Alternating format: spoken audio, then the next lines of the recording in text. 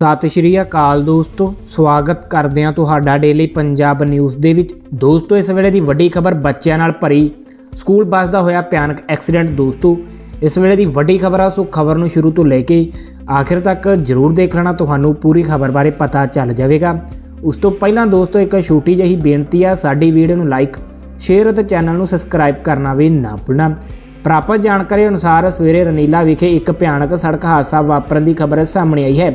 ਜਿੱਥੇ ਇੱਕ ਬੱਚੇ ਨਾਲ ਭਰੀ ਹੋਈ ਸਕੂਲ ਬੱਸ ਅਤੇ ਇੱਕ ਕਾਰ ਦੀ ਆਮਣੋ ਸਾਹਮਣੇ ਭਿਆਨਕ ਟੱਕਰ ਹੋ ਗਈ, ਜਿਸ ਵਿੱਚ ਕਈ ਬੱਚੇ ਜ਼ਖਮੀ ਹੋ ਗਏ ਹਨ। ਪਰ ਖੁਸ਼ਕਿਸਮਤੀ ਰਹੀ ਹੈ ਕਿ ਕਿਸੇ ਵੀ ਬੱਚੇ ਦਾ ਕੋਈ ਭਾਰੀ ਜਾਨੀ ਨੁਕਸਾਨ ਨਹੀਂ ਹੋਇਆ ਹੈ। ਦੱਸਿਆ ਗਿਆ ਹੈ ਕਿ ਇਹ ਸੜਕ ਹਾਦਸਾ ਧੁੰਦ ਕਾਰਨ ਵਾਪਰਿਆ ਹੈ। ਬੱਸ ਵਿੱਚ ਇੱਕ ਦਰਜਨ ਦੇ ਕਰੀਬ ਬੱਚੇ ਮੌਜੂਦ ਸਨ, ਜੋ ਸਾਰੇ ਹੀ ਸੁਰੱਖਿਅਤ ਹਨ। ਜਿਸ ਵਿੱਚ ਬੱਸ ਅਤੇ ਕਾਰ ਦਾ ਭਿਆਨਕ ਟੱਕਰ ਹੋਈ ਹੈ, ਜਿਸ ਵਿੱਚ ਬੱਸ ਅਤੇ ਕਾਰ ਕਾਫੀ ਹੱਦ ਤੱਕ ਨੁਕਸਾਨੇ ਗਏ ਹਨ। ਇਹ ਘਟਨਾ ਦੀ ਜਾਣਕਾਰੀ ਮਿਲਦੇ ਹੀ ਪੁਲਿਸ ਵੱਲੋਂ ਤੁਰੰਤ ਮੌਕੇ ਤੇ ਪਹੁੰਚ ਕੀਤੀ ਗਈ ਅਤੇ ਇਸ ਮਾਮਲੇ ਦੀ ਜਾਂਚ ਸ਼ੁਰੂ ਕਰ ਦਿੱਤੀ ਗਈ ਹੈ।